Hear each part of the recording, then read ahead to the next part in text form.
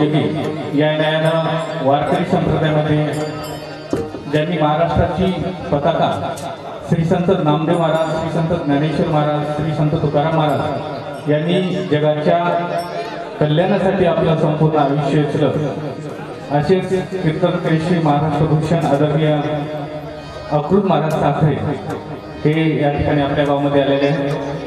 सर्वप्रथम समस्त बलसेकर वाचनातर्फे महाराजांचं मी या ठिकाणी या बलसानगरीमध्ये हार्दिक हार्दिक स्वागत करतो. या प्रसंगी सर्व गुरुजन मंडळी या कार्यक्रमाला मृदंग साथ करणार आहे आदरणीय परमश्रद्धेय मृदंग महर्षी गुरुवर्य राम महाराज काजळे आणि आपण सर्वजण गायक. अतिशय नियोजित वेळेवरती हा कार्यक्रम उपस्थित होणार आहे. या प्रसंगी आदरणीय बालासाहेब मोहिते पाटील यांची जी उपस्थिती आहे आपण सर्वजण कार्यक्रमामध्ये कार्यक्रमामध्ये आपण बाहेर न थांबता कृपया या ठिकाणी या दोन तासाचा कार्यक्रम आहे दोन चाली होणार आहे. आणि आभार प्रदर्शन झाल्याशिवाय कोणीही उठू नका. ज्यांना पायाचा काही त्रास असेल काम असेल त्यांनी त्या वरच्यावरती बसा. जेणेकरून कार्यक्रमामध्ये डिस्टर्ब होणार नाही. पाच यूट्यूब चॅनलमध्ये हा कार्यक्रम प्रसारित होणार आहे. म्हणून शिस्त डिसिप्लिन आणि आपल्या गावाचं नाव येणाऱ्या वीस वर्षामध्ये प्रत्येकाच्या मोबाईलमध्ये दिसणार आहे. म्हणून प्रत्येक जणांनी कुठलीही हातवारी न करता गप्पा गोष्टी न करता चिंतनदामध्ये शिस्तीचं दर्शन द्यावं जेणेकरून येणाऱ्या काळामध्ये हे कीर्तन संपूर्ण महाराष्ट्रावर प्रसिद्ध प्रसारित होणार आहे.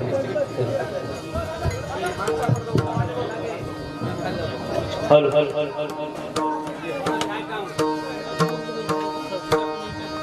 हॅलो मस्त वा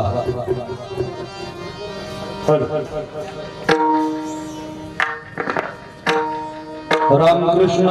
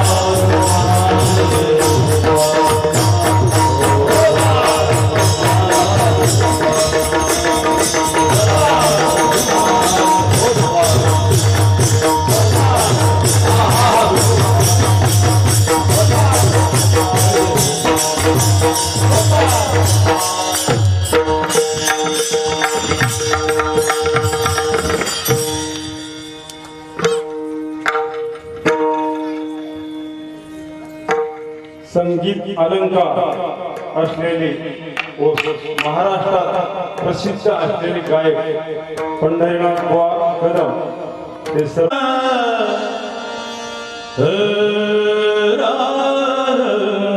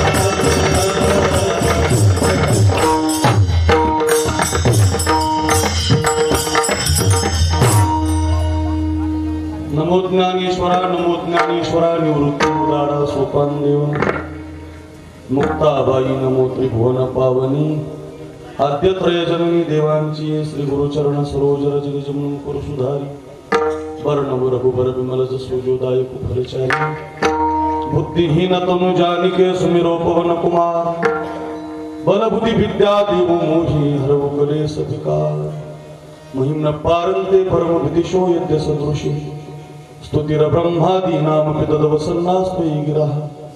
अथावाच सर्वस्वसुमति परिणामावधि गुणं ममापेश स्तोत्रे पाया परिकरः मस्तकमाधा पाया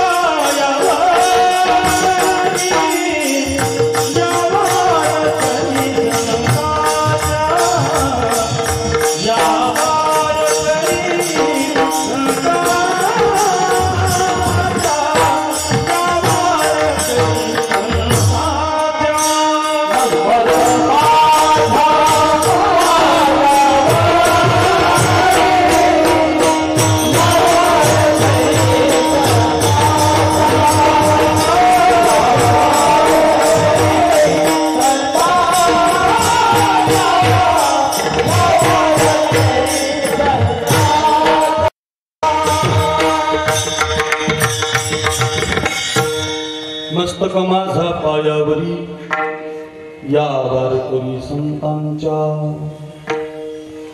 यादसाठी केला होता टहास शेवटचा दिस गोड व्हावा आता निशिंतीने पावलो विसावा. कुंटलिया धावा तृष्णेची अच्छा. पवित्र कीर्तन सेवेसाठी जो अभंग आपण घेतला निवडला बहुतेकांच्या पाठातला. अत्यंत सोपा.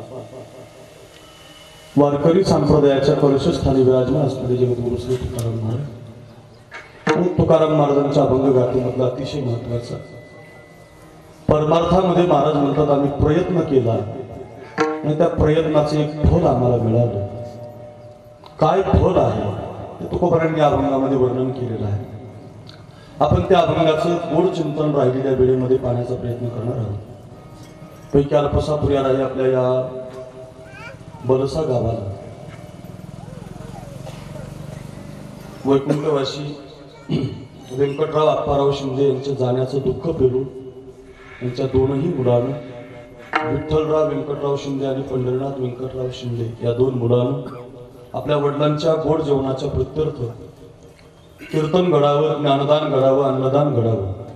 आणि आपल्या वडिलांना या गोड जेवणाच्या प्रत्यर्थातून एक श्रद्धांजली अर्पण करण्याचा मानस या शिंदे परिवाराच्या दोनही मुलांनी या ठिकाणी आयोजित केला. आणि कार्यक्रम समापन करत असताना आता एक महिन्यापूर्वी आमच्या मोहिते नानांच्या आईच्या कार्यक्रमाला आम्ही आलो होतो. आणि त्या पुण्यतिथीच्या निमित्तानं त्या ठिकाणी कीर्तन श्रवण झालं.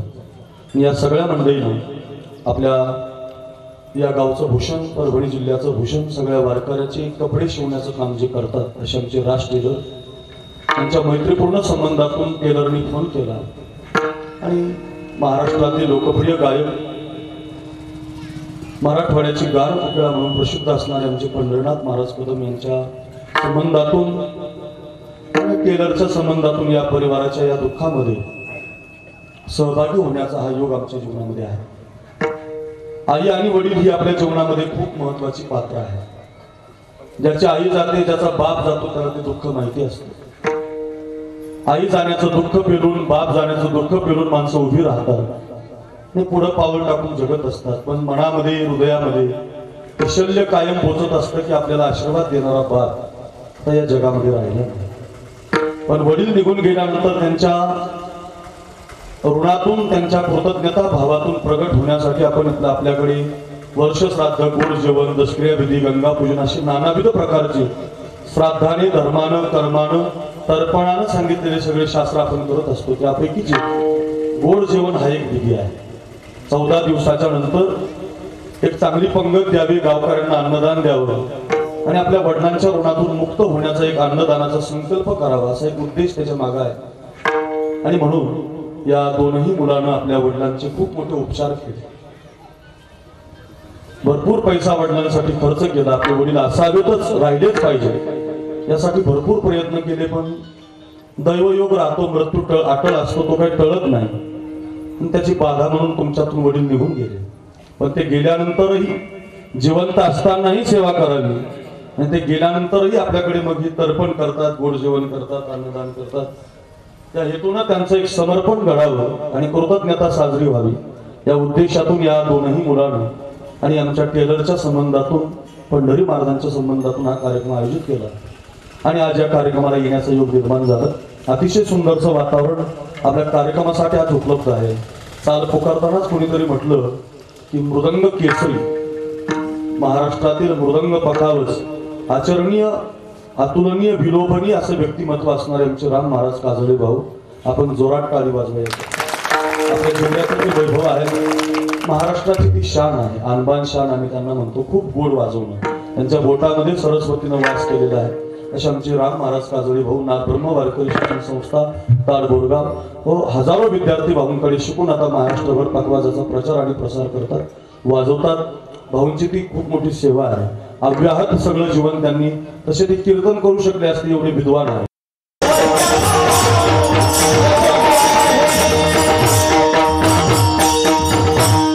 प्रमाण देता येतील आपल्याला या विषयात. या मृत्यू लोकात किंचितही सुखाची इच्छा तुम्ही करत असाल तर ते मिळत नाही महाराज. मग प्रयत्न आपण मात्र मृत्यू लोकातला प्रपंचासाठी करतो.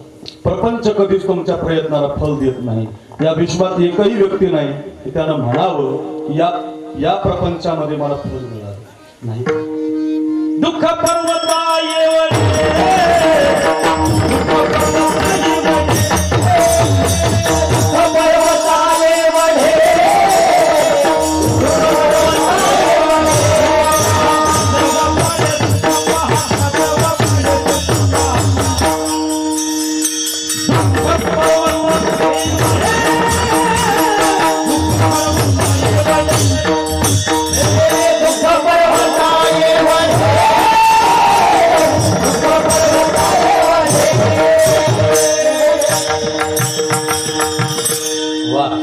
सुख पाहता जबाबदारी दुःख पर्वत अशी कितीतरी प्रमाणात येत राहते बघा. अर्थ एकच आहे सर्व सुखाची या आशा जन्म गेला.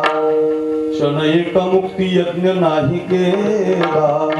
उन्नता दिशा क्षीण पावला. माया वेष्टीला जीव माझा.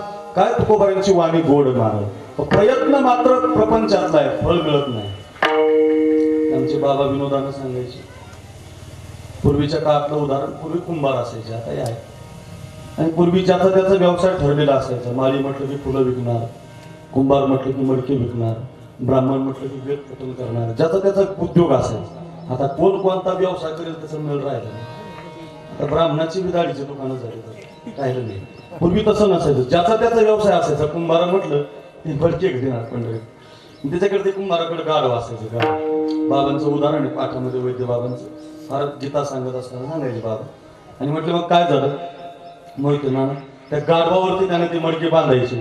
मग परभणीच्या बाजाराला तारगोरगावच्या बाजाराला जिथं जिथं मोठे मोठे बाजार भरतात तिथं ती मडकी बांधून गाढवाच्या पाठीवर बांधून ते मडके घेऊन जायची. एक दिवस असा बाजाराचा दिवस आणि रात्रभर त्या कुंभारानं त्या गाढवाच्या पाठीवरती माती वाहण्याचं काम केलं. रात्रभर ते गाढव जागलं. माझ्याकडे बघा. उदाहरण लगेच कळलं. गाढव रात्रभर जागलं. रात्रभर त्याच्या पाठीवर माती वाहण्याचं काम झालं. बरं का महाराज?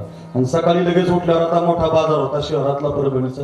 त्याला बस येऊन निघायचं होतं. त्यानं ते एकूण एक त्याला विचारलं विचार ना गाढव रात्रभर झोपलेलं नाही. त्या गाढवाला उठवलं त्याच्या त्या अंगावर एकूण मडके बांधले एकूण मडके बांधले त्याला लवकर जायचं जागा पकडायची माल विकायचा पैसे कमवायचे प्रयत्न निघाला. त्यानं ते एकूण मडके बांधले एकूण रात्रभर गाढव झोपलेलं नव्हतं. रात्रभर ते गाढव जागलेलं माती वाहून. आणि ते गाढव जसं निघालं तर रात्रीचा तो आळस रात्रीचं ते जागरण एका झाडाची सावली त्या गाढवाच्या अंगावर पडली. त्याला जरा बरं वाटलं आणि गाढव मटकून खाली बसलं. आता गारो खाली बसल्यावर कुंभाराच्या तळपायाच्या आत मस्तकाला गेली. बापरे. गारो खाली बसतंय. अजून जागा पकडायची रास लावायची. मडके विकायचे उन्हाळ्याचे दिवस आहेत. मडके विकले पाहिजे पैसे मिळाले पाहिजे. प्रयत्न चाललाय त्याचा. पण गाढव आता खाली बसलं. खूप मारलं त्याला. काठीने मारलं दगडाने मारलं दाताने मारलं भाऊ. गाढव काय उठे ना.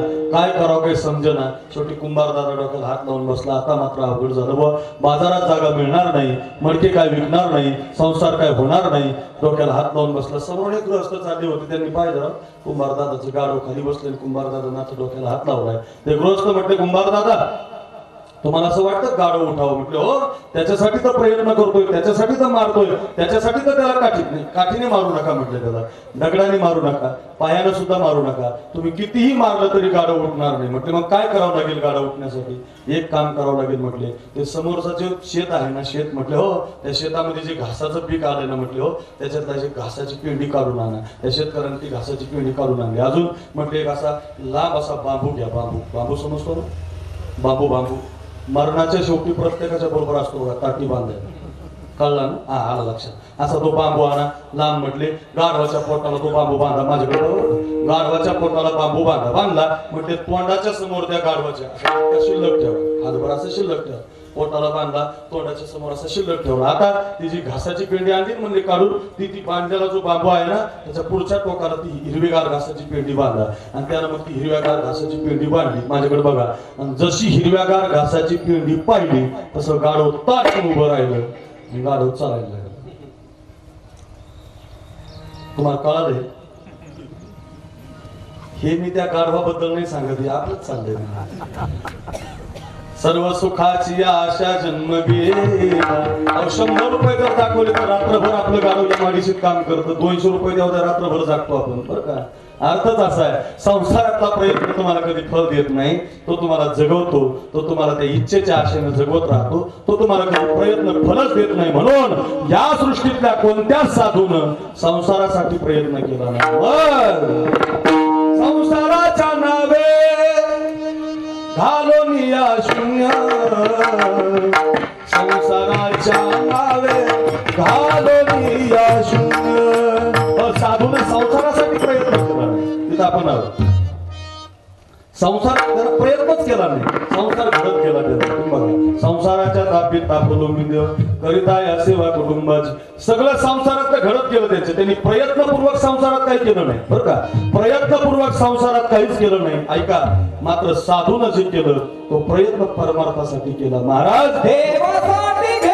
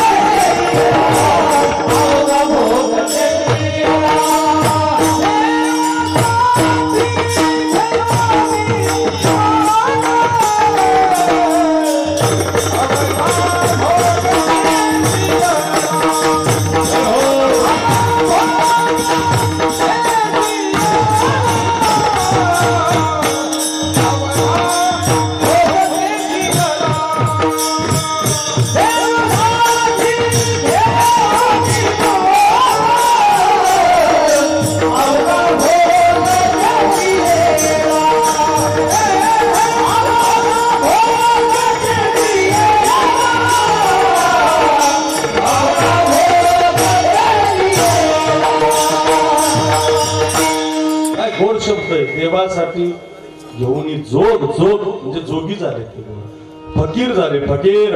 अ मी याच्यापेक्षा पुढे सांगू तुम्हाला काही ठेवलंच नाही. फक्त एकच केलं बुवा अवघा भोग साधून प्रपंचासाठी जीवनच जगलं नाही साधू. म्हणून कुणी असं मला आमचे बाबा म्हणायचे माऊलीच्या समाधीचं दर्शन घ्यायचं म्हणायचं माऊली माझं लग्न होऊ दे. हे जमणार नाही. ज्ञानोबारांच्या समाधीचं दर्शन घ्यायचं माऊलीला म्हणायचं मला श्रीमंत होऊ दे. हे जमणार नाही. तुकोबारांचं दर्शन घेऊन तुकोबारा तुम्ही म्हणजे "बुवा, माझा संसार सफल झाला पाहिजे. जमणार नाही. मग माऊलीचं दर्शन घेऊन तुम्हाला विचारावं लागेल. काय मी उद्धार पावे? काय कृपा करी विचारावं लागत होतं. ह्याची वाटे जे जे भेटे तयाशी देव कृपा करीन माझं काय लाज राखील अ, परमार्थामध्ये प्रयत्न करावा लागतो. लक्षात ठेवा. प्रपंच हा घडत असतो होत असतो. तुम्ही ठरवलं काय न ठरवलं काय कोरोना आला थांबला गेला घडत राहील. तुम्ही त्याच्यासाठी प्रयत्न केला का? कोरोना जाण्यासाठी फक्त लस आली त्याच्यातही ज्याला दिली त्याला व्हायला लागला म्हणजे काय? म्हणजे प्रयत्न त्याच्यासाठी कोणी केलाय का? पण ते चाललंय ना महाराज. संसाराचा नियम आहे सुरुसरती तो चलत राहतो महाराज. हो तो होत राहतो. हो ज्या वेळेला आलता त्यावेळेला प्रत्येक माणूस घाबरला होता. आता अजून आणखी त्याच्यात कमी झालं. आता चार चार लाख तीन तीन लाख सगळ्यांचे गेले ना मला पण झाला होता तुम्हाला झाला. आम्हाला सगळ्याला म्हणजे होता का नाही ते कळत नाही पण होता म्हणतात आता काय त्याचं काही मिळ नाही.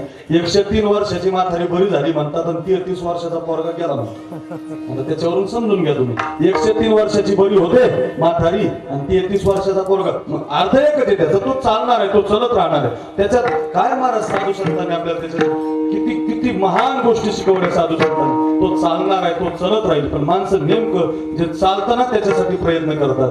आणि जे घडायला पाहिजे करायला पाहिजे त्याच्यासाठी प्रयत्न करतात. वाईट वाटतं. साधू संत म्हणतात आम्ही हा प्रपंच शून्य मानला. आम्ही याच्यासाठी प्रयत्नच केला नाही. आम्ही प्रयत्न केला परमार्थासाठी. हो, आणि परमार्थात प्रयत्न करत असताना हो तो परमार्थ असा केला. शिंक जांभई खोकला. एवढा वेळ वाया गेला. किती केला बरं प्रयत्न किती केला अखंड. वा वा वा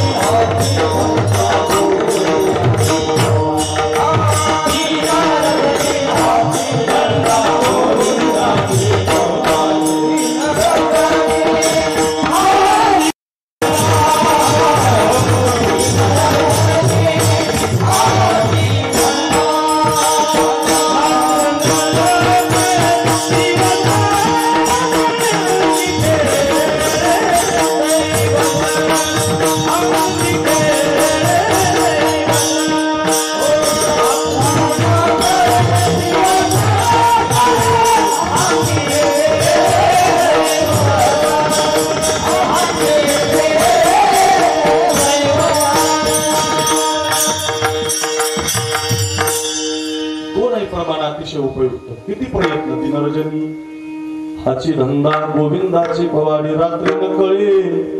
दिवस न कळे. अंगी खेळे दैवत. अखंड तेच केलं बा अखंड खंडेना जीवर रामकृष्ण नारायण सततं कीर्तयन्तो माम यतन्तस्य ध्रुवताः नमशन्तस्य मां भक्त्या नित्ययुक्ता उपासते. हरी कीर्तनाची नि नटनाची. नाचले व्यवसाय प्रायचित्ताची जे नामाची नाही पापाची ऐसे गेली. या मदा भावकळा आलेली. तीर्थे ठायावरून उठलेली यमदूतीची कुंटडी राग लागली यमू म्हणे कवनाते यमावे दमू म्हणे कवनाते जमावे तीर्थे मध्ये काय खावे दोष पाठ आपल्या या बोल्या सोप्या आहेत अर्थ एकच आहे अखंड तो प्रयत्न केला बा गोविंद गोविंद म्हणा लागली साधूचा प्रयत्नच आहे महाराज तुम्ही बघा साधून फक्त भगवान नामाचा प्रयत्न केलाय. दुसरा प्रयत्नच नाही महाराज दुसरा त्यांच्या जीवनात प्रयत्नच नाही. तुम्ही कसलाही माणूस येऊ द्या त्याला हाच प्रयत्न करायला लावलाय त्यांनी. ते मी नेहमी सांगत असतो ते मग गोविंद ते काय हा साधूचा प्रयत्न आहे महाराज. गोविंद गोविंद मना लागल या छंद. त्या छंदामध्ये घालतात आणि त्याचं ते शरीर मात्र गोविंद बनवतात मी एक उदाहरण सांगतो तुम्हाला लगेच कळेल. मेवाडच्या राजाची मुलगी होती मीराबाई. इतकी सुंदर होती दिसायला मीराबाई. सुकलेल्या कमळाच्या फुलाला जर हात लागला तर ते कमळ उमलायचं असं म्हणतात. पान जर खाल्लं तर तिच्या गळ्यातून दिसायचं. अतिशयोक्ती अलंकारात वर्णन केलं. इतकी छान. तिनं कधीच ती फॅरन लवली लावली नाही. कधी पावडर लावलं नाही कधी मेकअप केला नाही. इतकी छान होती. पण ती लहान असताना तिच्या कथेमध्ये असं वर्णन आलं की ती आईच्या गर्भामध्ये असताना तिच्या आजोबानं तिला भागवत कथा ऐकायला नेलं. आणि गर्भामध्ये असताना तिनं भगवंताची ती लीला ऐकली. असा दिसतो सावळा कृष्ण. कसा आहे कृष्ण तो सावळा? आहे राजसूस कुमार आहे. त्याच्यासारखा या विश्वास सुंदर कोणीच नाही. इतका छान तो कृष्ण आहे. असं चरित्र त्या मीराबाईनं ऐकलं आणि गर्भामध्ये ऐकलं गर्भामध्ये ऐकल्यानंतर दादा असं ज्यावेळेला ती जन्माला आली पाच वर्षाची झाली. गावात पुन्हा भागवत कथा चालू होती. झाडे महाराज गावात पुन्हा भागवत कथा चालू होती. आणि मग ती कथेला जायला लागली. एक दिवस भाऊ काय झालं? भागवत कथा कथाकार सांगत होता आणि ते कृष्णाचे स्वरूप असं आहे. तिने गर्भातच ऐकलेलं होतं. सांगत होते असा आहे सावळा आहे तो दिसायला सुंदर आहे. पाहिली अभिदलावी सावळे रुपडे. सगळे प्रमाण कथाकार सांगत होते. मीराबाई पाच वर्षाची आणि त्या कथाकाराला म्हटले काय हो कथाकार महाराज? एवढी छान कथा सांगता. हा कृष्ण मला पुढे भेटल.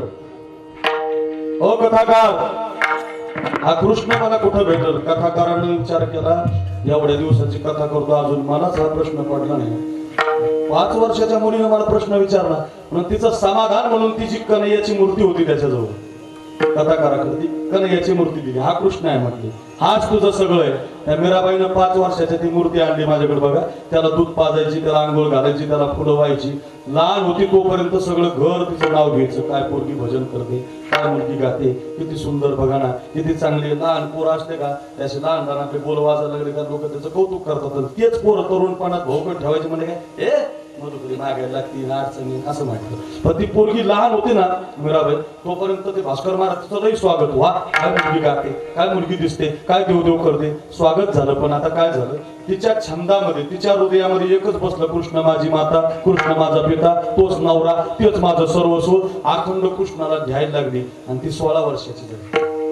आता सोळा वर्षाची झाल्यामुळं राजाची मुलगी तिला आता राजाचे ठेपे यायला लागले. हो अमक्या राजाचा ठेपा तमक्या राजाचा ठेपा उपवनाचे ठेपे यायला लागले. भारी भारी. आणि ती बापाला म्हणायची माझं लग्न नाही करायचं. माझं लग्न त्या कृष्णाशी झालेलं आता जोपर्यंत ती लहान होती कृष्णाची भक्ती करत होती तोपर्यंत भाऊ तिला समाज चांगलं म्हणला घर चांगलं म्हणलं बाप चांगलं म्हणलं. आता मात्र वाईट झालं. आता काय झालं बघा?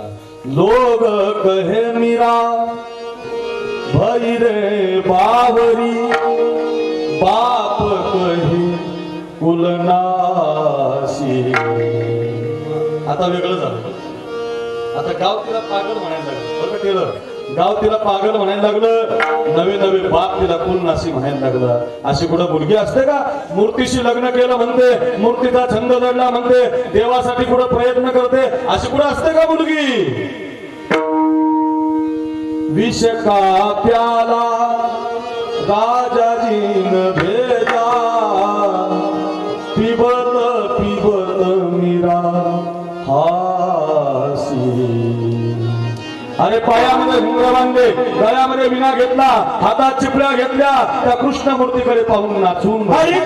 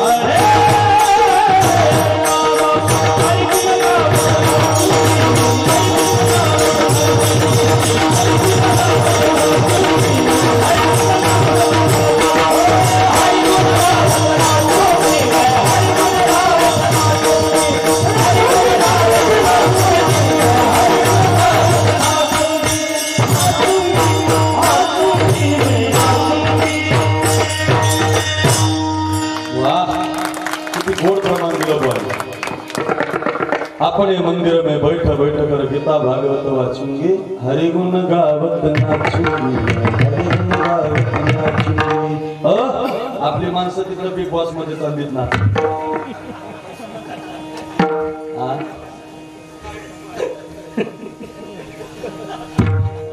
आपली माणसं बिग बॉसमध्ये चालली ना तर आणि ती बिचारी कृष्णाच्या मुलीला ज्याला कळायचं त्याला कळालंय. वाईट झालंय मला. बोलायला जावं तर जे बोलल त्यालाच मारतील लोक. अवघड झाला एक जण मला म्हटलं नामांकित लोक तुम्ही बोलायला पाहिजे म्हटलं अरे बोलून कशाला तिचा प्रचार करायचा कशाला तिचे वर्णन करायचं? बोललं ज्याच्यावर बोललं की लोक त्याच्यात तारखे घ्यायला जाऊ दे मुद्दा असा विठाला विठ्ठला.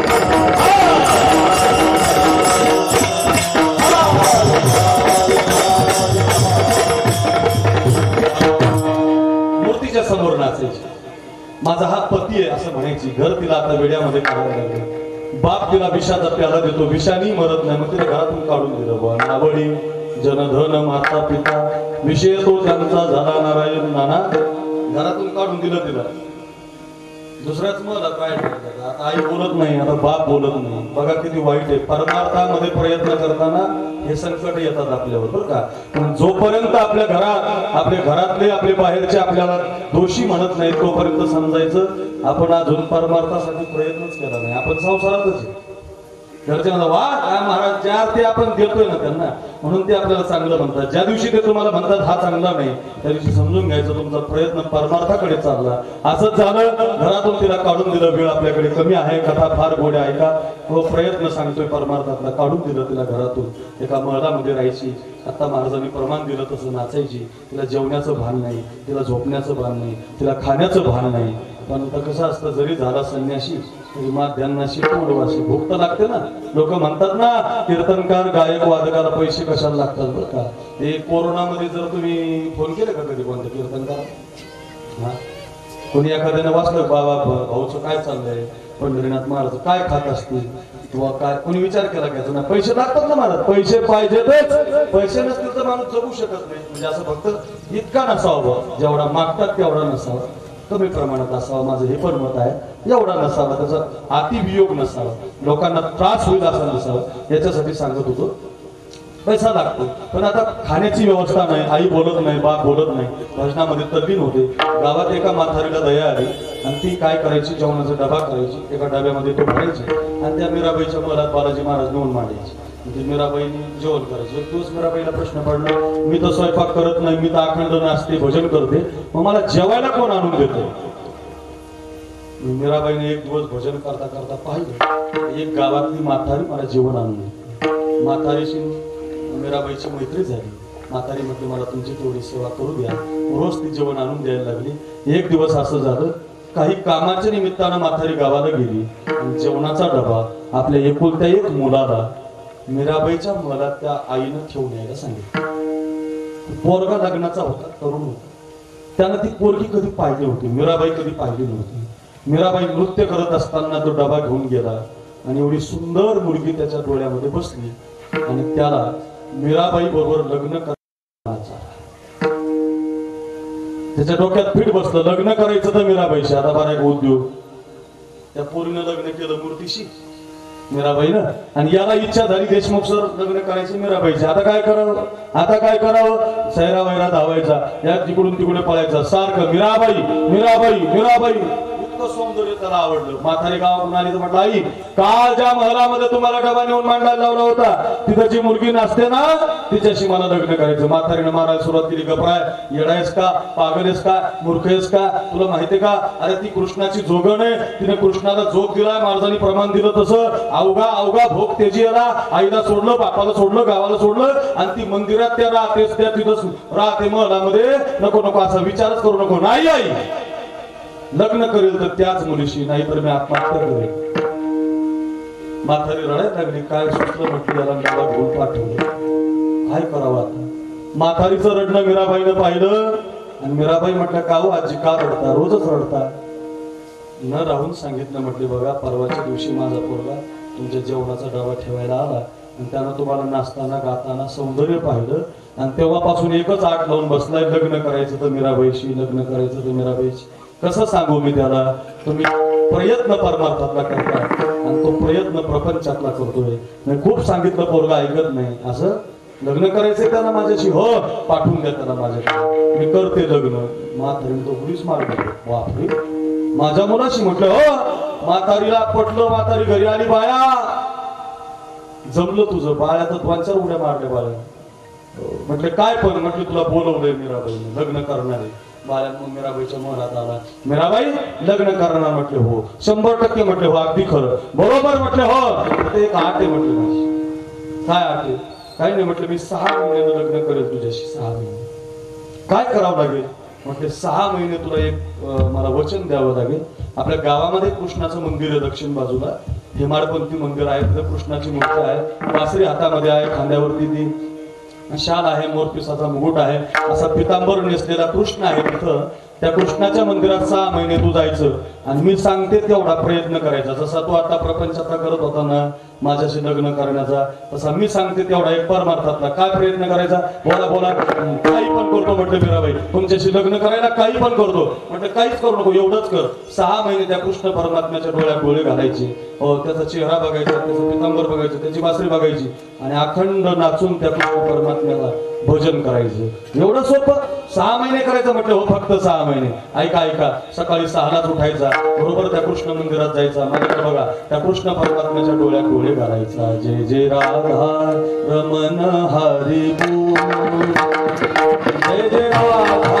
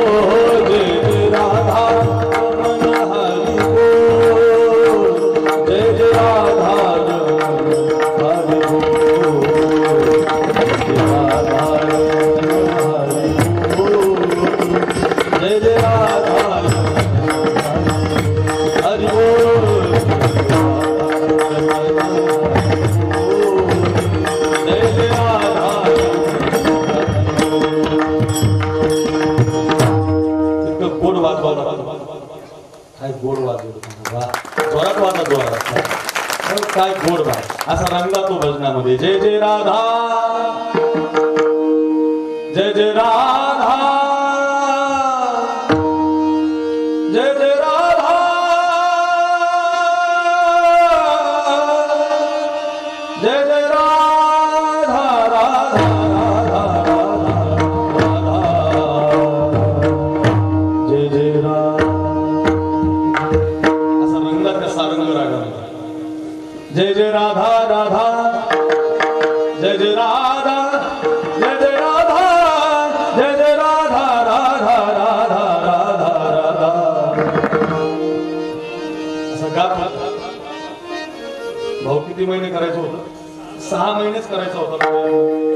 महिने झाले तीन महिने माझ्याकडे बघा. मीराबाईनं मोठा लग्नाचा हार घेतला तसा तुम्ही माझ्या गळ्यात घातला तसा. मोठा लग्नाचा हार घेतला म्हातारीला बरोबर घेतलं चला म्हटले आजची याच महिन्यात उरकायचं. म्हटलं अजून तीन महिने बाकी आहेत नको नको म्हटले. तीन महिन्यानं तिथी नाही. येऊ दे दे माझ्याकडे बघा तीन महिन्यानं तिथी नाही ते जाते पडून. काही काळजी नको बरं का? तीन महिन्यानं तिथी नाही. याच महिन्यात उरकायचं. मोठा हार आजी मीराबाई आणि सगळेजण त्या मंडपात मंदिरात. हा पोरगा नाचत होता. जय जय राधा. लक्ष द्या लक्ष द्या. जय जय राधा. नाचत होता. मीराबाईनं त्याच्या खांद्याला हात लावला. हे राजा. हे राजा. मीराबाईला म्हटलं कोण आपण? मीराबाई म्हटलं पागल बिगडेस की काय? घडायस की काय? अरे तुझ्याशी लग्न करायचं ना हार आणलाय लग्नाचा. आई आली तुझी बरोबर. तूच म्हटलं ना लग्न करायचं. पोरगा म्हटलं असतं काही पण बोलू नका हो. माझं लग्न समोरच्या त्या कृष्णमूर्तीशी कधीच झालं काहीला कळालं काहीला उद्या कळत असा परमार्थातला हा प्रयत्न आहे. संसारासाठी प्रयत्न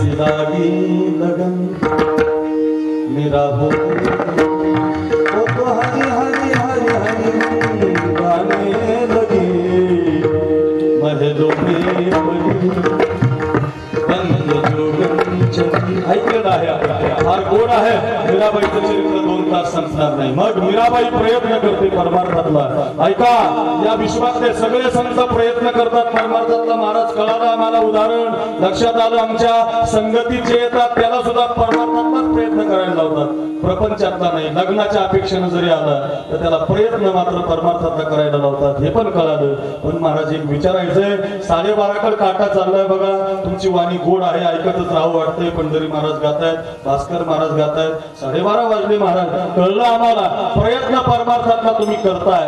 पण हा प्रयत्न करत असताना हा प्रयत्न तुम्ही कशासाठी करताय? महाराज त्याचं उत्तर आपल्याला आज देतात अभंगाच्या पहिल्याच्या.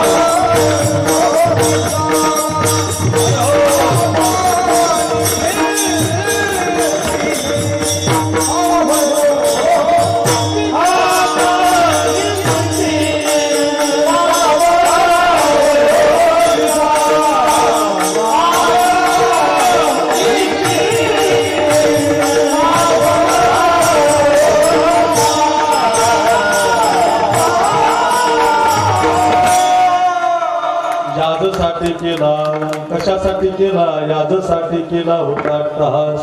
अट्टहास नाम प्रयत्न केला. कशासाठी? हो महाराज शेवटचा दिस गोड व्हावा मरावे परी कीर्ती रूपी ओरावे. याच्यासाठी केले.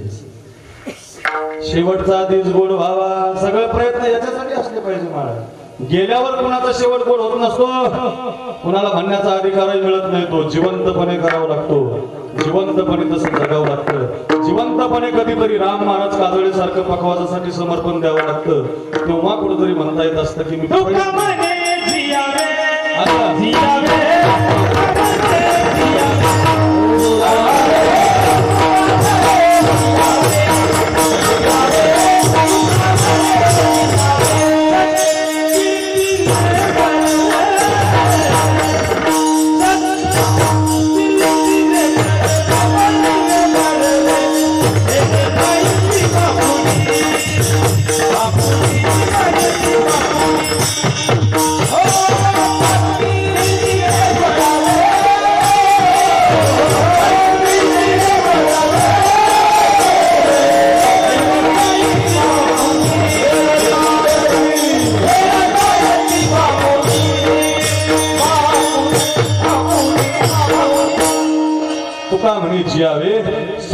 कीर्तीने बरवेल काय शब्द आहेत काय प्रमाण वा? हो असं जगलं पाहिजे. जिवंतपणे मग म्हणता येतो. शेवटचा दिस गोडवा त्याच्यासाठी आम्ही प्रयत्न केला. हे मी सांगत असतो आता. एवढी तरणी बांड पोरं येत येतं मंदिरातच एक जण मला म्हटलं बाबा तेवढं उदाहरण सांगा. आता तुम्ही म्हटले म्हणून सांगायचं मला. ते तरणी बांड पोरं बसलीत म्हणून सांगतो. वयाच्या तेवीसव्या वर्षी त्या भगतसिंहाला पाहायला पाहुणे आले होते. पोरांनो जरा ऐका. अरे पोरं ऐका. कितव्या वर्षी आलते पाहुणे? तेवीसव्या वर्षी नाना. पूर्वीच्या काळामध्ये तेवीसव्या वर्षी बावीसव्या वर्षी लग्न व्हायची. बरोबर? मुलीचं लग्न अठराव्या वर्षी एकोणीसाव्या वर्षी व्हायचं. माझं लग्न तेवीसव्या वर्षी झालं तर दहा वर्ष होऊन गेली. बरं काही पंढरी महाराज तुमचं तेवीस. वीस बावीसव्या वर्षी त्यांचं. बरं? आता काय झालं? त्या त्या काळात पाहुणे यायचे ना मग. वीस वर्षाचा पोरगा झाला ती बावीस बावीस वर्षाचा झाला. आता पाहुणे बदलले आता पाहुणेच येत नाहीत महाराज का? लग्नाचं वय बदललं महाराज. पस्तीस अडोतीस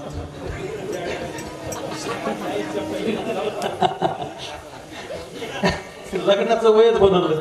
हो लग्नच व्हायला फार पूर्वीच्या काळात ते बघा तेवीस वर्षाची पोरं झाली की पाहुणे यायची. म्हणजे ते भगतसिंहाला पाहायला पाहुणे आले. ऐका ऐका. कोणी म्हणावं मी प्रयत्न केला आणि प्रयत्नाचं फल याचं होतं मला हे मिळवायचं होतं की शेवटचा दिवस गोड व्हावा.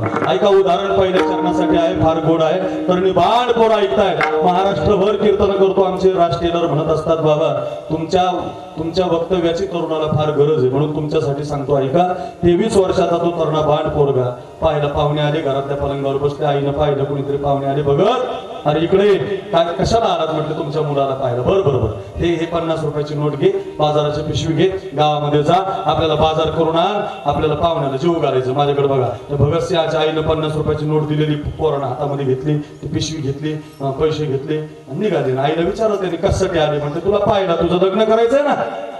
तुझ्या लग्नाला पाहायला पाहुणे आले असं? पन्नास रुपयाची नोट घेतली बाजाराची पिशवी घेतली परभणीकडे बाजाराकडे निघाले.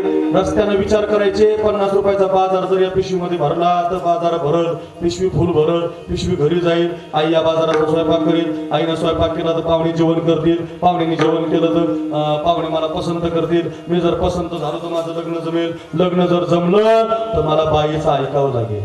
हा हवी बलसा. तुमच्याकडे काय?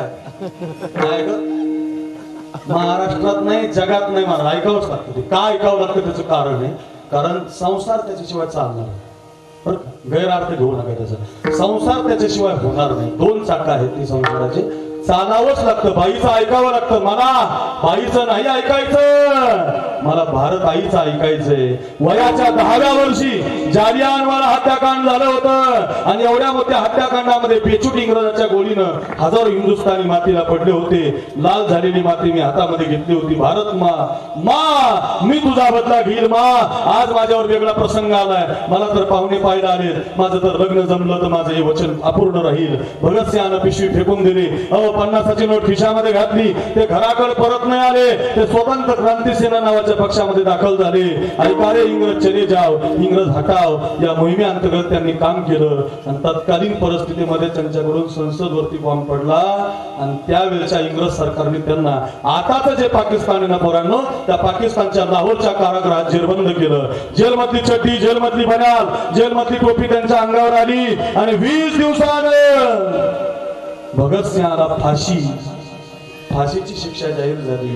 त्यांच्या आईच्या डोळ्यामध्ये अश्रूच्या धारा लागल्या. ती तरणी बाण पोराची माय धावत धावत त्या कारागृहामध्ये आली. अहो ते कठड्यातला पोरगा पाहिला. ती जेलमधली चड्डी पाहिली. तरणा बाण तेवीस वर्षाचा लग्नाचा पोरगा पाहिला. आणि माय ढळ दसा रडायला लागली. रडणारी माय भगतसिंहाने आतून पाहिली मा! रोणा नाही मा रोना नहीं माँ। माँ तो तो वीरों की माँ है रे। माँ तो तो शुरों की माँ है रे। माँ वीरों की माँ कभी रोती नहीं माँ। माँ शुरों की माँ कभी रोती नहीं माँ। माँ रोना नहीं माँ। रोना नहीं माँ। आतून आवाज येत होता भगतसिंहाची आई म्हणत होती भगत तुला बापाचं प्रेम करणार तुला आईचं प्रेम करणार नाही. तू बाप झाला नाही ना. अरे माझ्या नऊ महिने नऊ दिवस मी तुला जगवले रे. आणि मला म्हणतो रडू नको. तुला तो फासावर देणार आहे पण मला म्हणतो रडू नको. मा याच्यासाठी रडू नको मा. कराय काय रडायचं ना तुला? तर आज रड बघ मा आज. तुला काय रडायचं तर आज रड. पण ज्या दिवशी हे भारत शासन इंग्रज सरकार मला फासावर रडतील ना त्या दिवशी तुला रडता येणार नाही मा. कारण मला रडत रडत फासावरती नाही जायचं. मला हसत हसत हसत हसत फासावरती जायचे. अरे ऐका रे आता जेलर जेलर गायला आला. फाशीचा दिवस उजाडला. आता फाशीचा दिवस उजाडला. सकाळची वेळ होती. जेलर आणायला गेला. आई निघून गेली होती. आणि भगतसिंह व्यायाम करत होता. हे पुराण ऐका. भगतसिंह व्यायाम करत होता. जेलर न्यायला आला होता. एक तासानं फासावर द्यायचं होतं. व्यायाम करणारा भगतसिंह पाहिला जेलरनं डोक्याला हात लावला आणि जेलर म्हटला हे भगत आणि व्यायाम शरीरासाठी बॉडीसाठी तब्येतीसाठी जगण्यासाठी करायचा असतो एक तासाने तर मरायचंय व्यायाम करून फायदा काय? भगतसिंहानं जे उत्तर दिलं ते फार गोड आहे. भगतसिंह म्हटला बरोबर आहे जेलर व्यायाम शरीरासाठी शरीर जगण्यासाठी मला तर मरायचंय. माझा फायदा काय ते करून पण असा आहे बघा जेलर माझी आई आली होती ना आता लहानपणापासून एक प्रयत्न करते. म्हणजे काय प्रयत्न करते? लहानपणापासून तिच्या मंदिरातल्या देवाची पूजा करते. तर देवाच्या पूजेसाठी प्रयत्नपूर्वक टोपली भरत फुलं घेऊन येते. त्या टोपलीतले सगळे फुलं ती देवाला वाहत नाही जेलर मग त्याच्यात एक ताजं फुल बाजूला काढते. स्वच्छ फुल बाजूला काढते. आणि ते ताजच फुल देवाच्या पायावर वाहते. माझी आई लहानपणापासून प्रयत्नपूर्वक ताजच फुल देवाला देताना मी पाहिलेली आहे. माझ्या आईचा देव मंदिरातला आहे. माझा देव भारत माता आहे. माझ्या देवासाठी जर मला जायचंय आता जायचंय तर मी असा सुकलेला बनून कसा जाऊ? नाराज बनून कसा जाऊ? मी असा फ्रेश बनून जाणार व्यायाम करून जाणार ताजा बनून जाणार. देशाच्या मातीसाठी वयाच्या तेवीसव्या वर्षी भगतसिंह फासावर गेला. त्या भगतसिंहाला जर तुम्ही विचारलं ना राजा नव्वद वर्षाचा म्हातारा म्हणतो रे मरायचं नाही. मर हा बोलूनच हा की. इथं शब्द सहन होत नाही माणसाला. मर हा शब्द आवडत नाही. आणि तो तर तेवीसव्या वर्षी निघालास रे कशासाठी? एवढा प्रयत्न कशासाठी? तर त्या भगतसिंहाचं एकच उत्तर असल. शेवट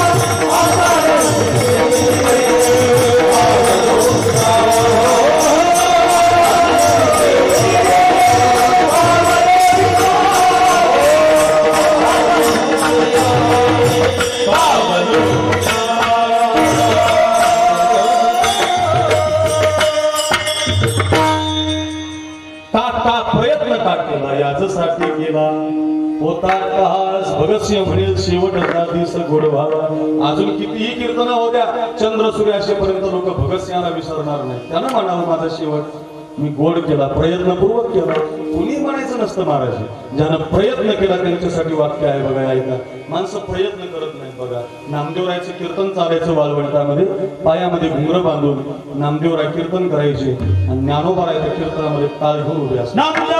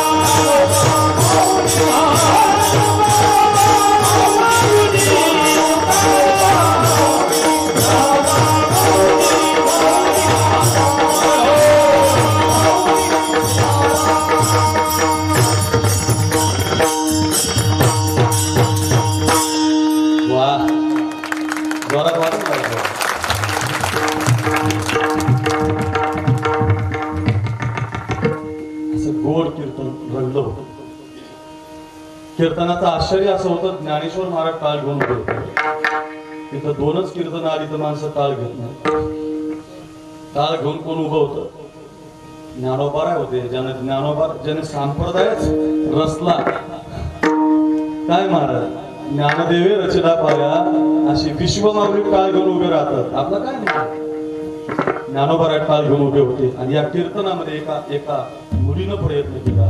त्या मुलीचं नाव आहे कामपात्रा तिनं प्रयत्न असा केला कीर्तन झाल्याबरोबर माऊलीचे पाय धरले. ज्ञानोबा साधकाचा माय बाप दरुषाने हरिताप. सर्वाभूती सुखरूपा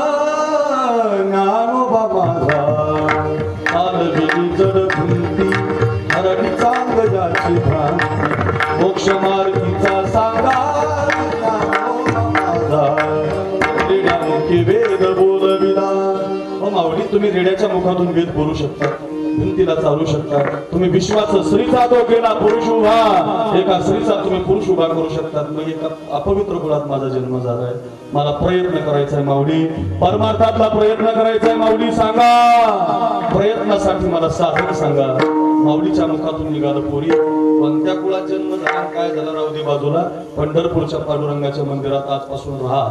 पायात घुंगरभा गळ्यामध्ये विना घे हातामध्ये चिपळ्या घे आणि नाचून भजन कर. पोरीनं माऊलीच्या शब्दावरती विश्वास ठेवला. विश्वासी तो करी स्वामीवरी सत्ता सकळ भोगिता होय त्यांची. पोरगी पांडुरंगाच्या मंदिरात आली. ऐका पहिल्या चरणासाठी कथा आहे.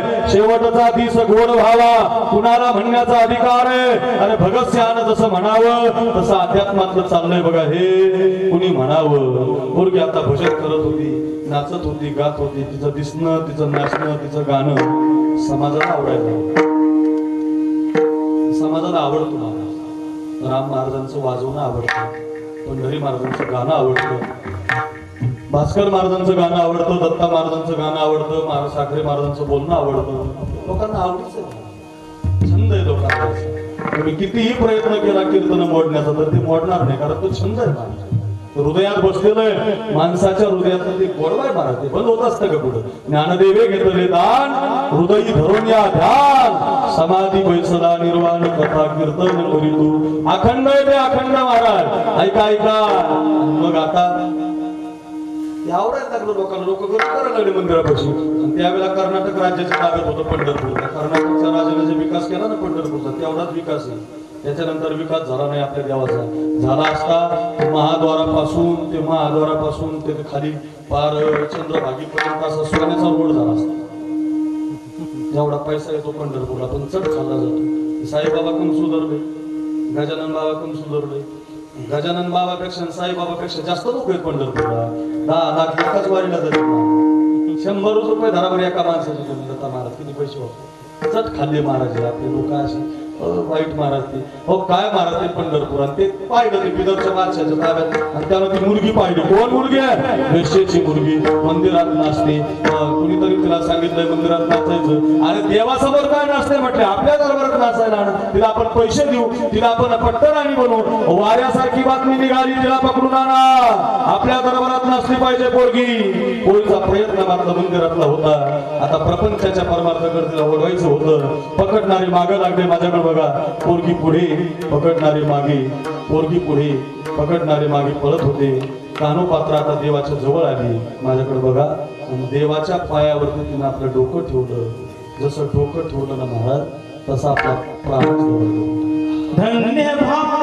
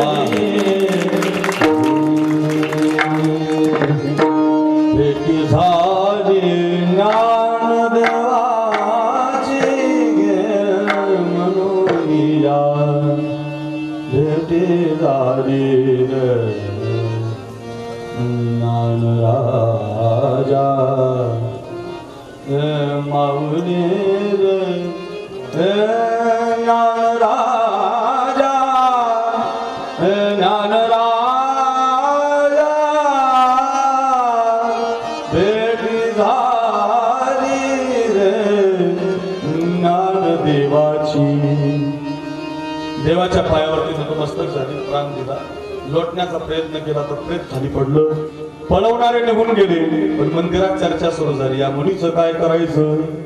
या मुलीनं प्रयत्नपूर्वक भजन केलं. वेशेच्या कुळात जन्माला आली असली तरी पायात घुंगर बांधले गळ्यात विना घेतला हातात चिपळ्या घेतल्या नाचून भजन केलं. आता पोरीचं काय करायचं? एक ब्राह्मण देवा म्हणते राम मंदिराच्या बाहेर काढा. एक ब्राह्मण देवा म्हणते देवाला अभिषेक घाला. तिसरं ब्राह्मण देवा म्हणते वाळून माती करा. यादी लागली सगळ्यांची. एक ब्राह्मण देवा म्हटले असं काही पण करू नका. हे प्रेत मंदिरात ठेवा. देव जे सांगेल ते करतो. पूर्वीच्या काळातल्या साधूला देव बोलत होता. ओरिजिनल होते ना ते? रुपये घेतला नव्हता आमच्यासारखं. ओरिजिनल होते ते. खाली एक गाव आहे लांब आता गेलो मी कीर्तनाला.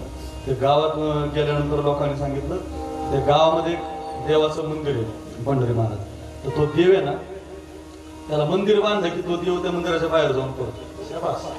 बरं का भाऊ खरी घटना आहे मंदिर बांधलं देव त्याच्यातून उडून लगेच बाहेर ते पंधरा सोळा ठिकाणी अशी त्याची मंदिरं बांधली पण ते मंदिरात देव काही थांबत ते मला दाखवलं त्यांनी ते सगळं. आता मात्र एका मंदिरात तो देव आहे. म्हटलं मग आता कसं काय? त्यांनी मला सांगितलं काय झालं? म्हटलं आमच्या गावाला मारुतराव महाराज आले होते म्हणजे कीर्तन मारुतराव आले बाबा आले म्हणजे मारुतराव बाबा दसनापूरकर. आणि त्यांनी ते पाहिलं म्हणजे देव असा पटांगणात पावसात दिसतो दिले म्हणजे गावाला शिवाय त्यांनी असं असतं का? म्हणजे देव असं ठेवला. मग आम्ही मारुती महाराजांचं दर्शन घेतो म्हणजे बाबा आमचं काय चुकलंय आम्ही मंदिरं बांधलेत पण देवच मंदिरात थांबत नाही म्हटलं काळजी करू नका. पुढच्या बारीला मी येतो मंदिर बांधा. मी देवाला मंदिरात थांबायला लावतो. मंदिर बांधलं लोक गाडी करून मारुत बाबाकडे आले मारुतराव बाबांना घेऊन गेले. ऐका मारुतराव बाबा देवाला म्हणजे आता इथंच बसायचं तिथंच बसल्या विचारलं विचार जुन्या काळातल्या साधूला देव बोलत होता महाराज. ते काय गावऱ्या थापाला जायचं जनाबाईचा देव? गावऱ्या? अ देव बोलत होता. साधूला देव बोलत होता दळू लागत होता. तांडू लागते का आपलं आहे का आपला नाही तो. ओरिजिनल होते ते. देव बोलत होता. तसं ते महात्मे म्हटले ते प्रेत हारू नका. ठेवा. रात्री एक वाजता आश्चर्य घडलं. विटेवरच्या आनंदानं झोपलेल्या त्या अनंत शास्त्रीच्या स्वप्नामध्ये प्रवेश केला. हे अनंता!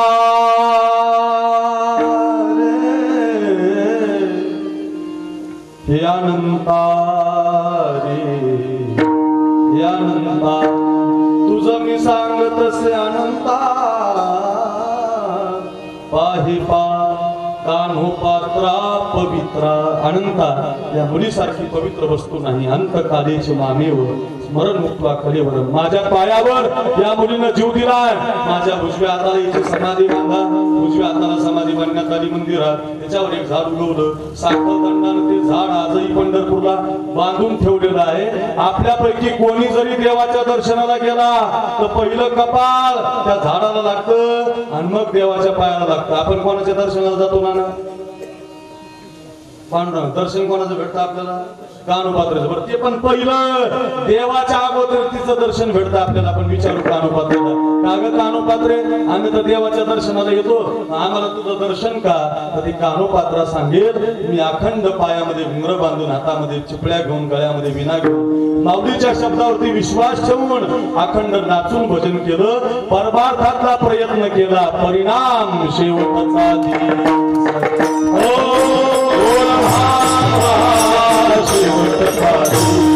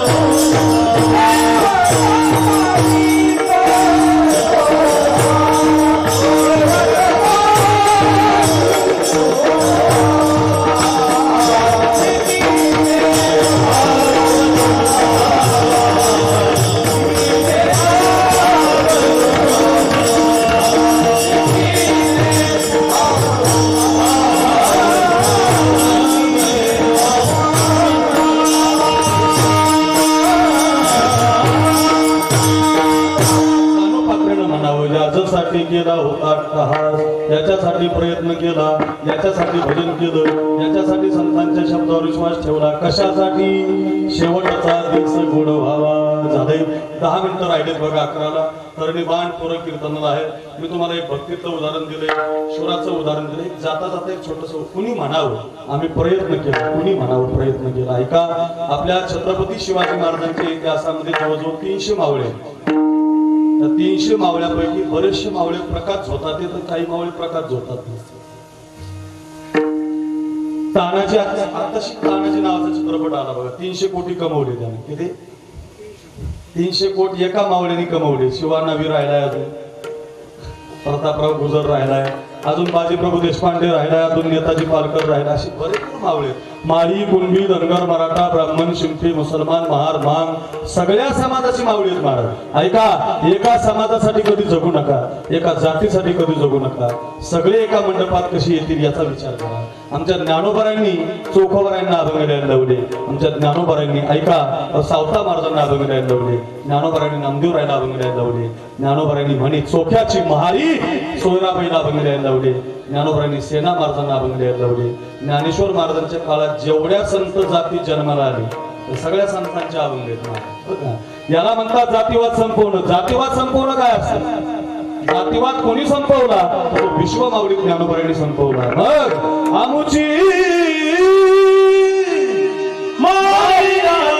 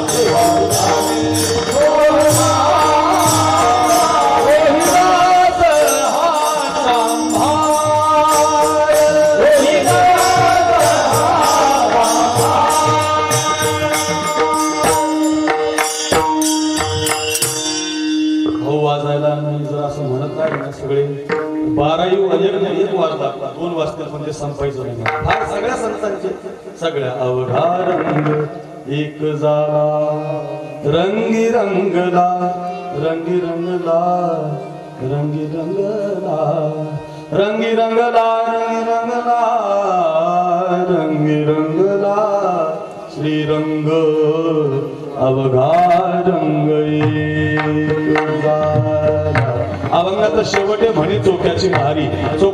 पत्नी काय? सेना महाराज काय? रोहिदास चांभार काय? सगळे संत एका मंडपात आणले. मिळविली मांदी वैष्णवांची. ज्ञानोबऱ्यांनी केलं त्याच्यानंतर हे काम कोणी केलं? माझ्या तुकोबऱ्यांनी केलं. तुकोबऱ्यांच्या नंतर कोणी केलं? छत्रपती शिवाजी महाराजांनी केलं. तानाजी कोंढाणा हवाय मुरारबाजी पुरंदर हवाय येसाजी सज्जनगड हवाय. तो बघतो परिकरचा गड पाहिजे. जातो की राज? जातो की राज? जातो की राज? पलीकडून आवाज आला राज? उडवायची राज सुलतानी सत्ता आता साप उडवायची. असा एक एक मावळा कडाडला. राजांना स्वराज्य निर्माण करू लागला. गडाची संख्या दहा झाली. दहाची वीस झाली. वीसची पन्नास झाली. आणि शिवाजी महाराजावर एक सिद्धी नावाचं संकट आलं. शिवा नावी नावाचा एक पोरगा एका पालखीमध्ये बसवला. दोन बाजूला दोन पार्ट्या गेल्या. शिवानावी आता पोहोचला होता. आणि राजांना पळवलं जात होतं. चारशे मावळे घेऊन राजांना विशाळगडावर नेत होते. अजून नऊ कोस म्हणजे नऊ दोन्ही. नऊ त्रिक सत्तावीस किलोमीटर अजून गड राहिला होता. आणि गजापूर नावाचं गाव लागलं. त्या गजापूर गावाला एक खिंड लागली. त्या खिंडीमध्ये गुप्तचरानं बातम्या आणली बाजी. मागून साडेतीन हजार गणित आले आणि आपण चारशे आहोत. बाजीनं पालखी थांबवली नियोजन बाजी प्रभू देशपांडेकडे होतं माझ्याकडे बघा. बाजीनं राजांना मुजरा केला. राज घ्या मुजरा. राज घ्या मुजरा. मला असं वाटतं हा बाजीचा मुजरा. बाजीच्या जीवनातला अखेरचा मुजरा होता. राजा आतून म्हणत होते नाही बाजी मी एकटा जाणार नाही. शिवा गेलाय प्रतापराव गेलाय तानाजी गेलाय कोंडाजी गेलाय येसाजी गेलाय. अरे पुरारबाजी पुरंदरावर गेलाय. नाही नाही नाही तुम्ही थांबलं पाहिजे. मी लढतो तुमच्या बरोबर. आपण साडेतीन हजार सैन्याविषयी लढू. नाही राज. विशाळगडाला शंभर लोकांचा वेळा पडलाय. तुम्ही शंभर मावळे घ्या. तुमची भवानी बाहेर काढा. यशवंतराव सुर्वे माणिकराव सुर्वेचा पराजय करा. विशालगडाची वाट धरा. गडावरती पोहोचतो महाराज आणि गडावरून तोफांच्या पाच फैरी लावा. तुमच्या तोफांचा आवाज येईपर्यंत हा बाजी या खिंडीमध्ये उभा राहतो. एक हातात दांडपट्टा एक हातात तलवार घेतो राज. तीनशे मावळ्यांशी कड करतो. साडेतीन हजारापैकी एकालाही वर येऊ देत नाही. काळजीच करू नका राज. जोपर्यंत मी उभा आहे तोपर्यंत मी प्राणाची बाजी लावल राज. मावळा राजांसाठी म्हणत होता. राजा हर हर महादेव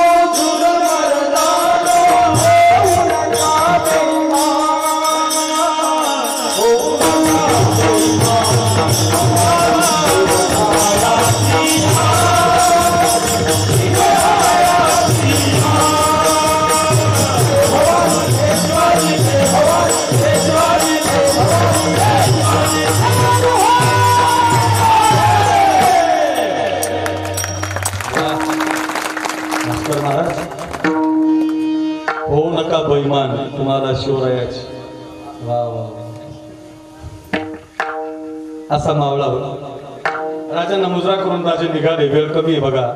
राजांसाठी आता त्यांना हातामध्ये दांडपट्टा घेतला तलवार घेतली. ढाल नाही घेतल्या. दांडपट्टा आणि तलवार घेतली. तीनशे मावळ्यांनी कडक केलं.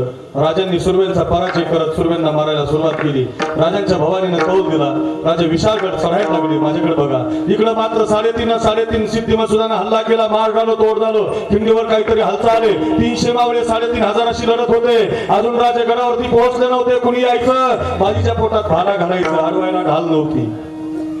येईल तो कापायचा येईल तो कापायचा एवढंच ध्येय होतं. एवढाच प्रयत्न होता. छातीमध्ये भाते जात होते भाले जात होते. इंच इंच जखमा छातीच्या पोटाला आणि इंचीला झाल्या होत्या भाजीच्या आतडे खाली पडलेलो पुन्हा भरायचा. पण अजून राजांच्या तोफेचा आवाज आला नाही. बाजी मात्र उभा होता. राजा त्या गडावरती पोहोचले झाले. आणि राजांनी गडावरून तोफांच्या पाच फैरी लावल्या. एक दोन तीन चार आणि पाच. अशा पाच तोफांच्या फेरी बाजीच्या कानापर्यंत आल्या बाजी आता जमिनीला पडला होता. ऐका ना तोफा मात्र बाजीला बोलवत होत्या. यावं बाजी. यावं बाजी राजा तुमची वाट पाहतात. यावं बाजी राजा तुमच्या स्वागताला तयार आहेत. यावं बाजी स्वराज्य तुम्हाला कधी विसरणार नाही. यावं बाजी महाराष्ट्र तुमचे उपकार कधी विसरणार नाही. यावं बाजी यावं बाजी यावं बाजी यावं बाजी. तोफा बाजीला बोलवत होत्या बाजी सुद्धा त्याच तोफांची वाट पाहत होता.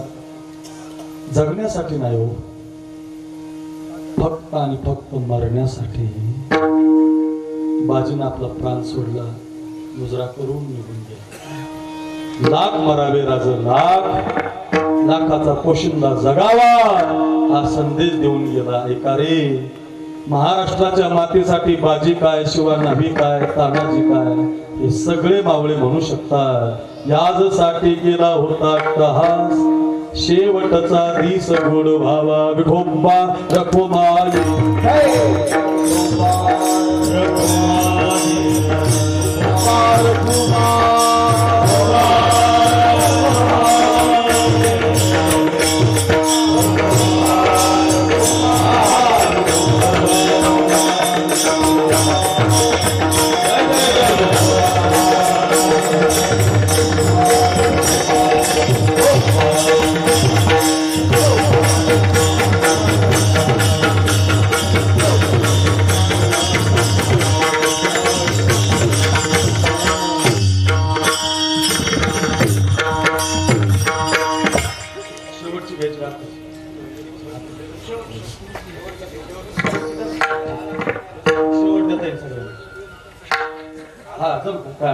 विठाला विठाला.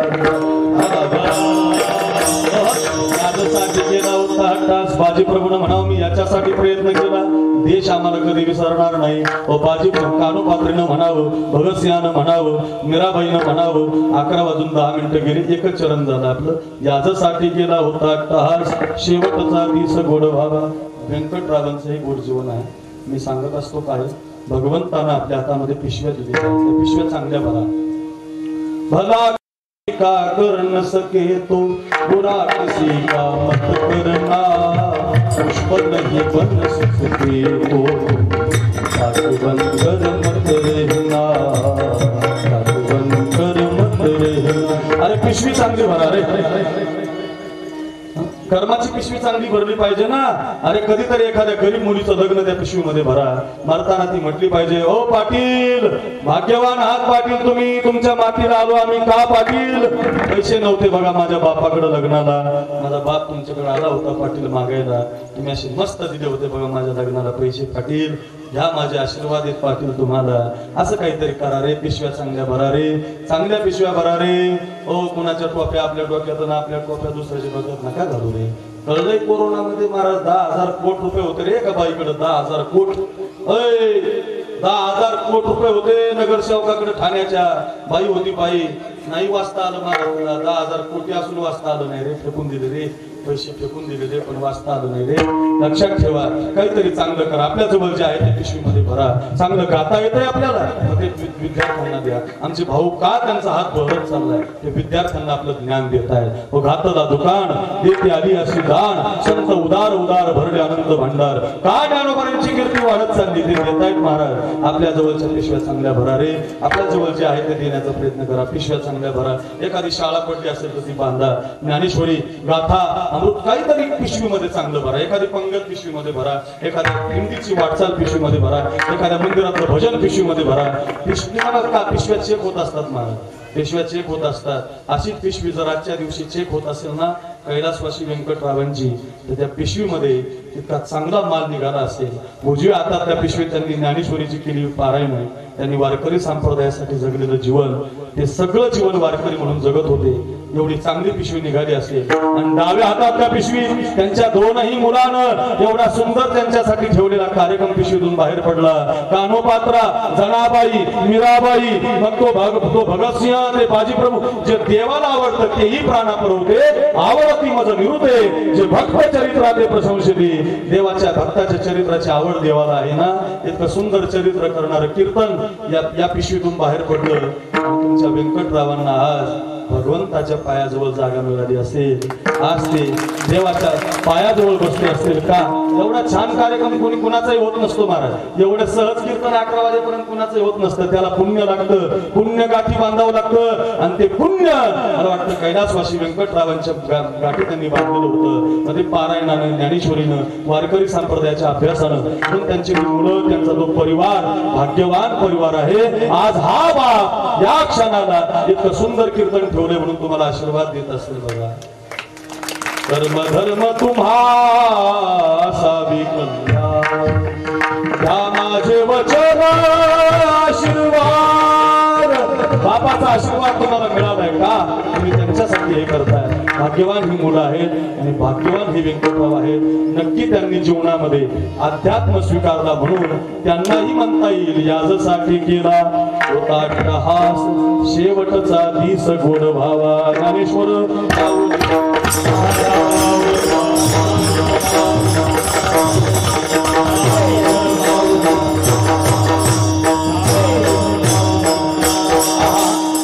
जातात सगळ्यांना विनंती आहे चालू होणार आहे. हे कीर्तन मात्र घरी घेऊन जा. खूप गोड आहे तुम्हाला आता युट्यूबलाही दिसणार आहे. इतकं गोड कीर्तन झालंय. कधी कीर्तन संपलं? काम महाराज काजळे आहे वाजवायला असल्यावर कीर्तन माझ्यासारख्याच साध्या कीर्तनकाराचं रंगेल पंढरीनाथ बुवा गायला म्हणण्यावर सहजच सहज होईल महाराज. अशी भास्कर महाराज याच्यात हा हा पण एक हिराच आहे महाराज. भास्कर महाराज. हो ते आमचे झाडे महाराज अशी मंडळी. आपण सगळी पूजनीय गायक मंडळी वादक मंडळी. भाऊ तुम्हाला माझं वंदन आहे. पंढरीनाथ महाराज तुम्ही तर खूपच महाराष्ट्राची गान पोकळा तुम्हा सगळ्यांना वंदन करतो. आमच्या टेलरनं खरं तर ही आग्राची विनंती केली. मी त्यांना म्हटलं होतं पावसात कसा कार्यक्रम होईल? ते म्हटले महाराज तुम्ही येऊन तर बघा. आमची परभणी नगरी ही अध्यात्माची नगरी आहे. आम्ही सगळेजण एका विचारात आहोत. हा विचार मी त्या टेलरच्या घरी गेलो ना. इतका आनंद वाटला ना मला. खरंच गड्या आपण सगळ्यांनी अशा माणसाला धरलं पाहिजे अशी माणसं आपण तयार केली पाहिजे की ते व्यवसायामध्ये असून सुद्धा परमार्थाचा प्रयत्न करतात. हो प्रपंचात राहून परमार्थाचा प्रयत्न करणारी ही मंडळी आहे. ही सगळी मंडळी पूजनीय आहे. सगळ्यांना धन्यवाद. सगळीच मोठी मंडळी आहेत सगळ्यांना वंदन करतो. चाल होईल. तोपर्यंत कीर्तन सगळ्यांनी घरी घेऊन जा. व्यंकटरावांच्या या सगळ्या परिवाराला धन्यवाद देतो. बोला. सर्व गुणीजन मंडळीने मला माफ करा. आज चाली मी सर्वांना काही देऊ शकत नाही. त्याच्यामुळं चाली दोन होतील प्रथम अंकुश बुवा रहाटीकर म्हणतील त्यांना साथ करतील महाराजाचे गुरुबंधू झाडे महाराज आणि त्याच्यानंतर भागवत महाराज संगीत विशारद आहेत. भाऊचे शिष्य ते म्हणतील पुढं. त्याच्यानंतर पाराजी बुवा संगीत विशारद आमचे ते म्हणतील त्यांच्या पाठी.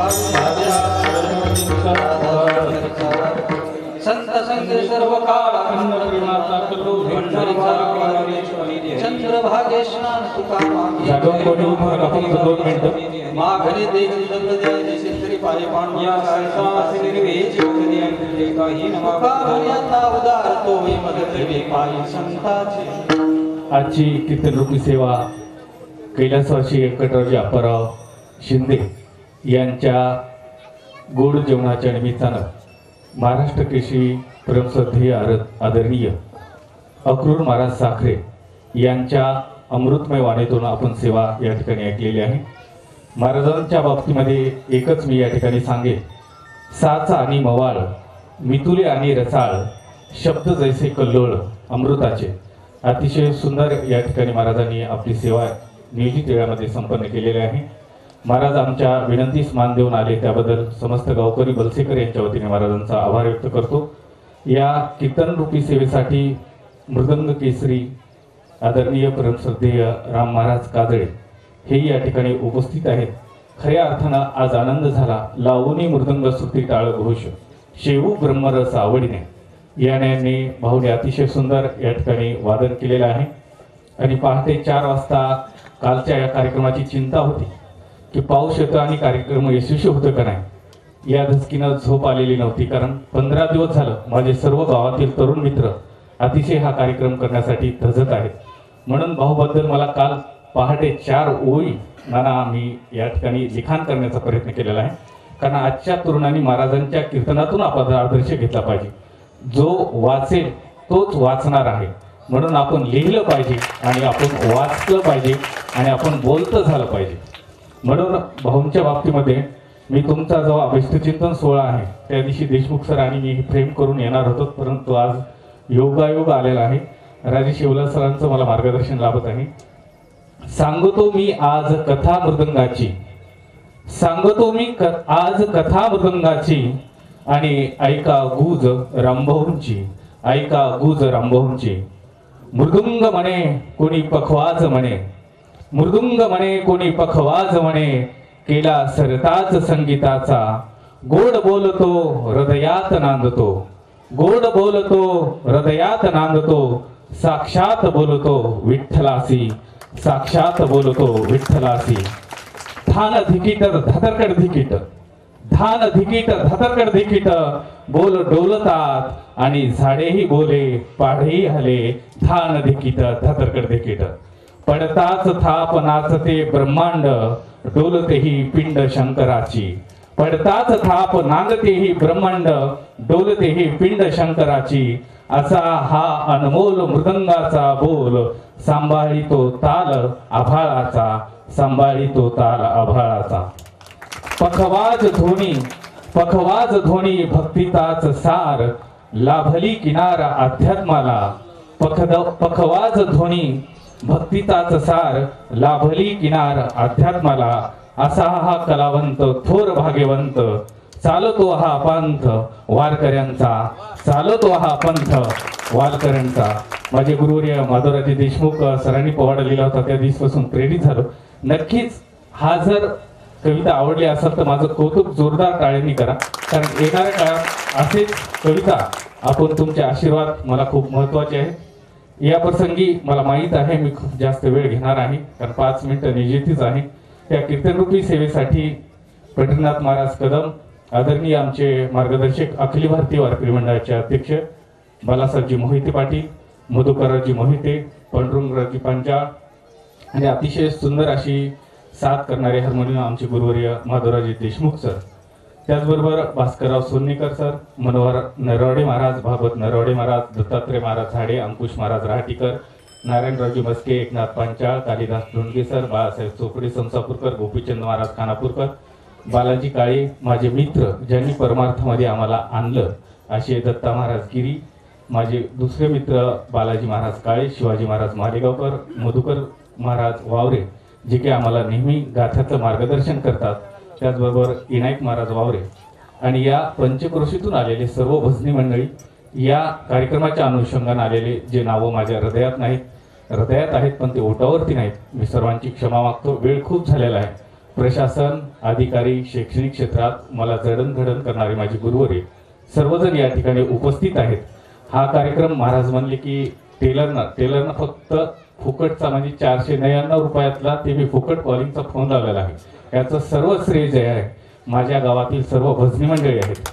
त्यामध्ये रामकिशनरावजी शिंदे माझे मार्गदर्शक आदरणीय विठ्ठलदादा शिंदे विठ्ठलराव नानासाहेब शिंदे धुंडीरामजी गंगाधरराव शिंदे धुंडीरामजी शिंदे माऊलीदादा नानासाहेब माऊलीदादा नानासाहेब शिंदे किसनराव पंचाळ दिगंबरराव शिंदे माऊली निवृत्तीराव रणेर दासराव रणेर नारायणराव शिंदे वैजूदादा माऊली रणेर रामकृष्ण रणेर पांडुरंग शिंदे राजू नागरराव शिंदे आमच्या गावचे सरपंच ही सर्व तरुण मंत्रिमंडळी मला नेहमीच मार्गदर्शन करते आणि या सर्वांमुळं हा कार्यक्रम यशस्वी होताना मला अतिशय आनंद होत आहे. त्याचबरोबर या कार्यक्रमाचे विनीत सर्व पाहुणे मंडळी माता भगिनी सर्वजण या कार्यक्रमाला सजवता सजवता त्या सर्वांचं या कार्यक्रमाचे आयोजक सन्माननीय विठ्ठलरावजी अप- व्यंकटराव शिंदे आणि माझे आदरणीय मित्र आहेत पाहुणेसुद्धा आहेत असे पंढरी नाना या सर्वांच्या वतीने हा कार्यक्रम या ठिकाणी यचोतीत सांगता झाली असे संप जाहीर करतो. पुन्हा एकदा सर्वांना विनंती करतो की आपण या ठिकाणी पहिल्यांदा पुरुष मंडळीची पंगत होईल आणि त्यानंतर माता भगिनींची होईल. ज्ञानदेव तुकाराम!